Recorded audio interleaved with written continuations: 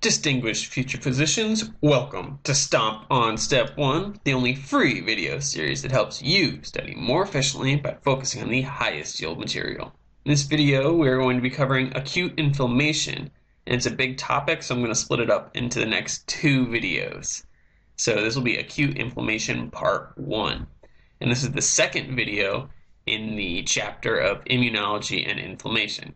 In the first video, we covered some introductory things like the difference between adaptive and innate immunity, as well as the difference between humoral and cell mediated immunity. Now, if you'd like to go back and watch that first video, you can click the Stomp on Step 1 logo to see a table of contents for all the videos in this chapter. Inflammation is the process of inflammatory cells, plasma proteins, and fluid from the circulatory system traveling into the tissue in response to cell injury or infection. Inflammation has a set of distinct phases. Generally speaking, there is acute inflammation, which is analogous to innate immune system, and chronic inflammation, which is analogous to the adaptive immune system. Here's a flow chart outlining what happens during inflammation. You can see here in the top right corner, I give this topic of acute inflammation a high yield rating of 5. For those of you that are not familiar with the high yield rating, it's a scoring system from 0 to 10 that gives you a rough estimate for how important each topic is for the USMLE Step 1. And if you'd like to learn more about how the high yield rating is calculated or how to interpret it, you can click this orange box here.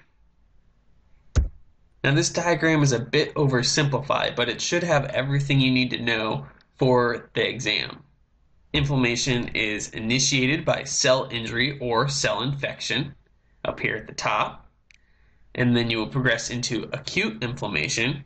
Acute inflammation is further broken down into three distinct phases. We will first look at the fluid phase, which starts immediately after the onset of injury or infection. In the fluid phase, there is arteriole dilation, which brings more blood and fluid to the site of injury or infection. Additionally, there's an increase in venule permeability. This means that more of the fluid inside the vessels spills out into the affected tissue. This is what causes the characteristic swelling, redness, and warmth of acute inflammation. Additionally, you're going to have activation of the complement system and various cytokines are going to be released, but I'm going to cover the cytokines in more detail in the next video in the section. Here is a diagram covering what happens during the fluid phase. So first we'll look at a normal vessel. We've got the arteriole small artery leading into the capillaries, which then exit into the venule, a small vein. Normally there is no net flow between the vessel and the tissue. The amount of fluid flowing out of the vessel into the tissue is approximately equal to the fluid flowing back into the vessels. However, during the fluid phase of acute inflammation, there is net flow of fluid into the tissue. So there's a lot more fluid flowing into the tissue than there is fluid flowing in the reverse of that direction. A majority of this net flow is going to be cytokine directed vascular changes, but vessel injury also contributes. Obviously, if there's some sort of damage to the vessel, it's going to bust open and just kind of spill out all that blood in that vessel into the tissue. Cellular injury and infection cause the release of histamines, prostaglandins, leukotrienes, and bradykinins. Additionally, the small number of sentinel macrophages that reside in the tissue recognize the need for inflammation and send out cytokines of their own. Collectively, these cytokines trigger the fluid phase by causing the dilation of the arterioles and the increase in the permeability of the venules and this happens through pericyte contraction. So there are very small pores along the venule wall, and normally those pores are close to shut, but these little contractile cells called pericytes along the vessel wall can contract and make those pores much larger. So that what that's what leads to the higher level of venule permeability because now it's not a solid wall, it's got a bunch of these little holes in it where fluid can come and go. And you can see here as well that the arterioles are going to dilate, so they're going to be much thicker than they were before, bringing more blood to the tissue. So that was just the fluid phase, which happens immediately after injury. Now we'll talk about the neutrophil phase, which peaks at about one day. And it is the second part of acute inflammation. It is a direct consequence of the fluid phase.